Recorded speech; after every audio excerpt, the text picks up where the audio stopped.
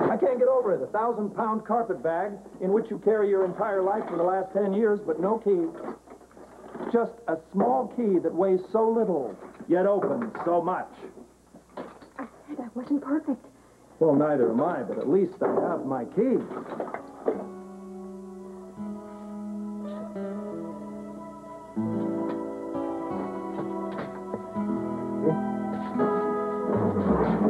Thank you. All right.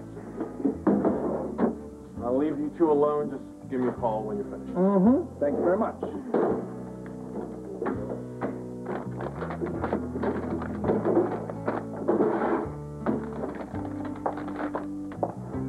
Here we are, darling. Our new identity. My name is Charles. You have a problem with that, Nora? Not at all, Nick. Has a certain ring to it, doesn't it? What say you, we avail ourselves of some form of local transport and wend our way to the airfield? After you, thin man. After you, thin woman. Oh, come on.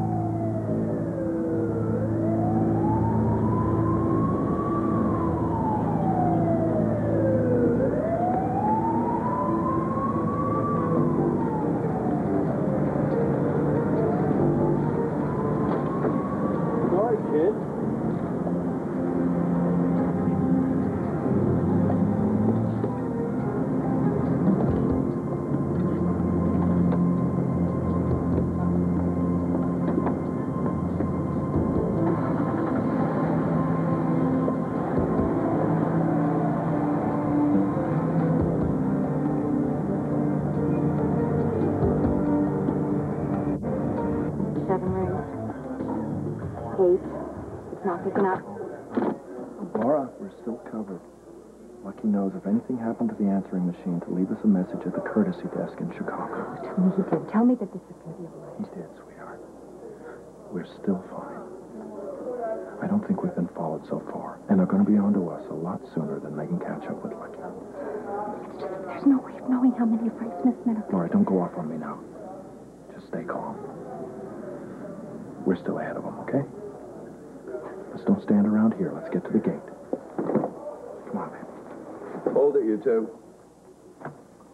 Do you know that you're being followed?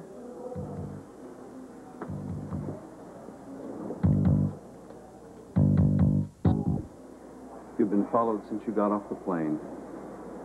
Who? Where? Don't bother looking, you won't see them. Who the hell are you?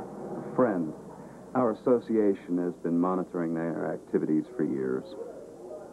Why haven't you contacted us before? Well, we thought you knew they were harmless. They've gotten a lot of bad press, that's all. In reality, they're the good guys. The government men, they're the ones you have to watch out for. What good guys are we talking about? You, me, extraterrestrials, of course. The extraterrestrials. Right, of course. We knew that. Oh. See, the government wants us to believe that there's no such a thing as UFOs or extraterrestrials, but they're here all around us looking for friends. Today, they're following you. I warned you not to wear that perfume. We're building transmitters to receive their electromagnetic communications from space. This is your opportunity to contribute. No donation too small.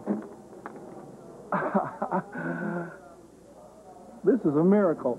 Brother, the Lord has sent you to me today, for he hath spoken unto me and given me a personal message, called me direct.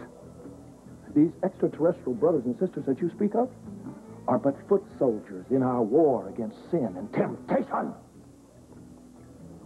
Brother, in order to be part of the great plan the Lord sent you to me, in other words, your salvation is at hand.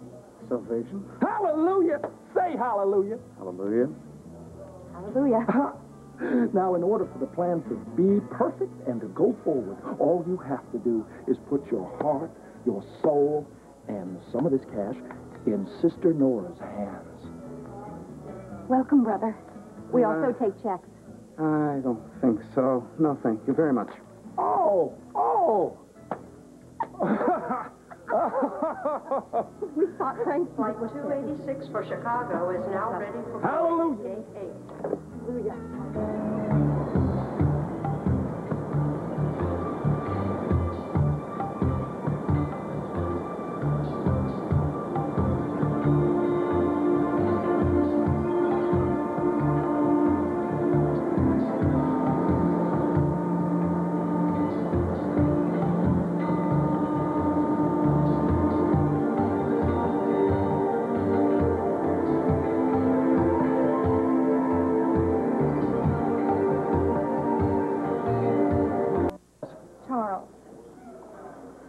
And Mrs. N. Charles? Yes.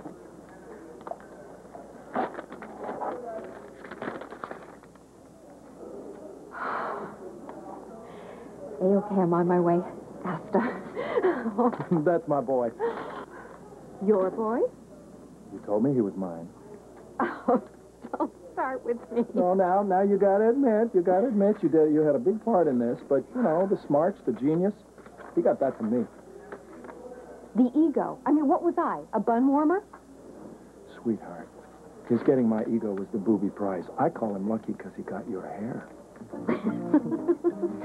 we got a few minutes left. You want to get some pie? Yeah.